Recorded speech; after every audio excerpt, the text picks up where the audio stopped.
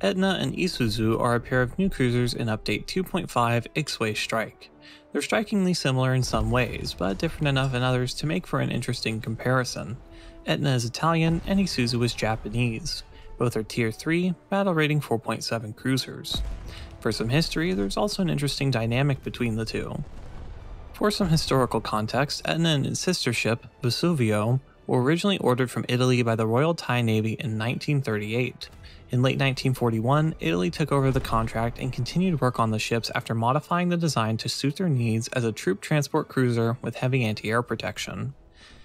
Once Italy surrendered to the Allies in 1943, the hulls of the two ships were roughly halfway complete, however they were both scuttled to prevent the Germans from capturing them. In 1945, both ships were scuttled, and in the late 1950s, both were refloated and scrapped. Isuzu is a member of the Nagara class of light cruisers, of which six were built from 1920 to 1922.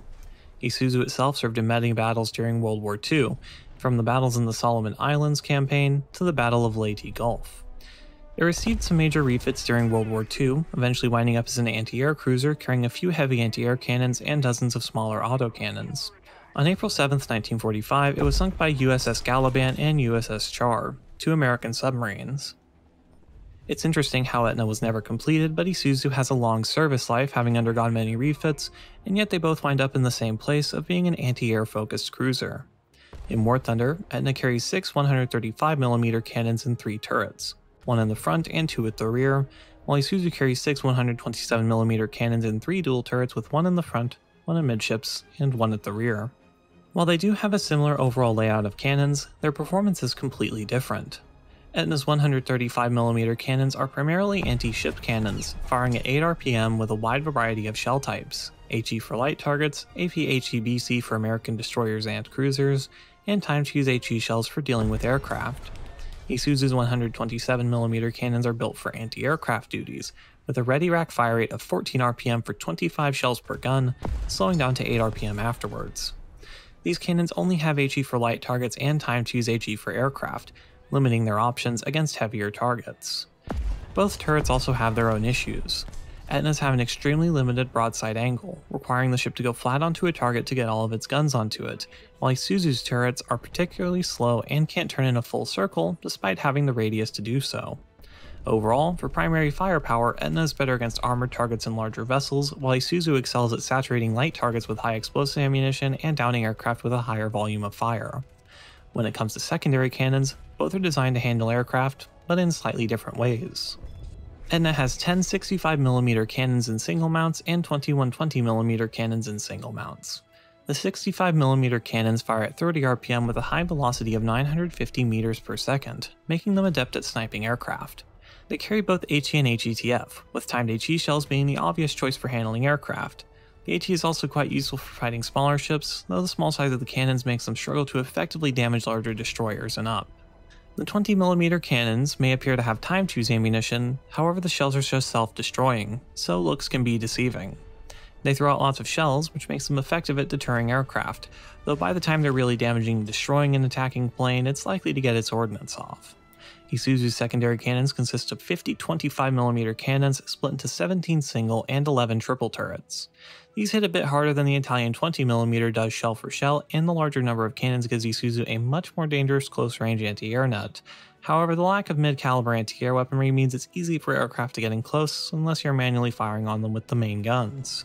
That isn't necessarily bad, as it can lure aircraft into close ranges by appearing to be a ship with worse anti-air weaponry such as a Kuma or Sendai before opening up with its 25mm cannons.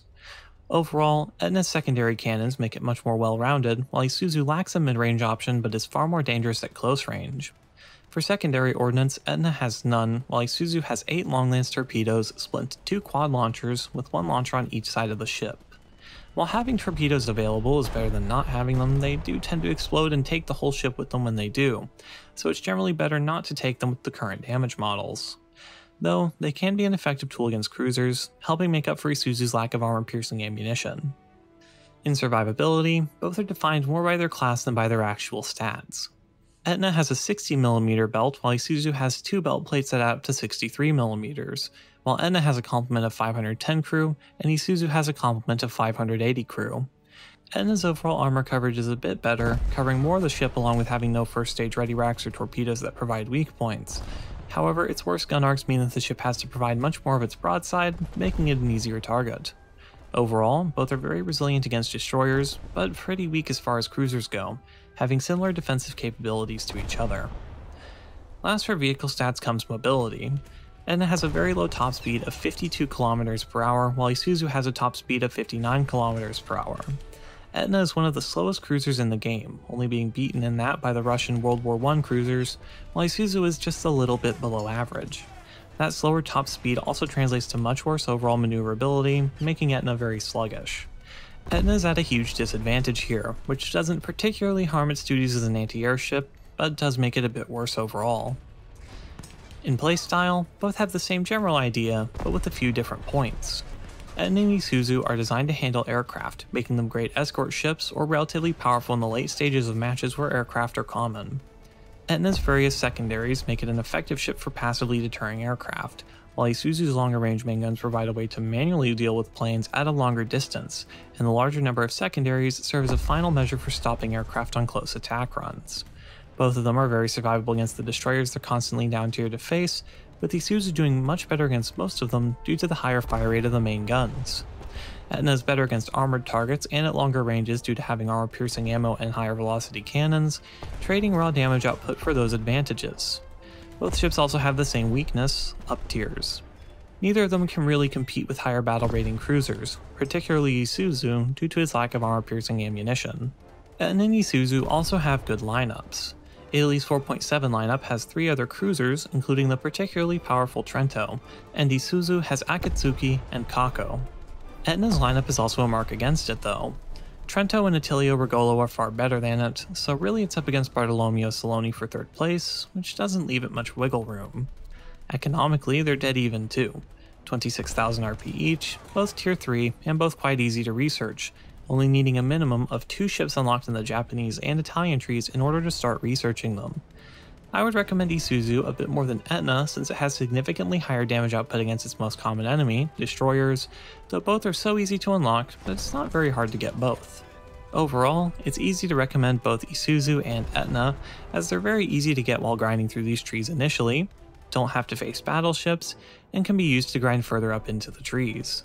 With Japan, Isuzu is a valuable part of their 4.7 lineup, while with Italy, Etna is better than Condottiere for filling up their 4.7 lineup until you finally unlock Trento. Thank you for watching.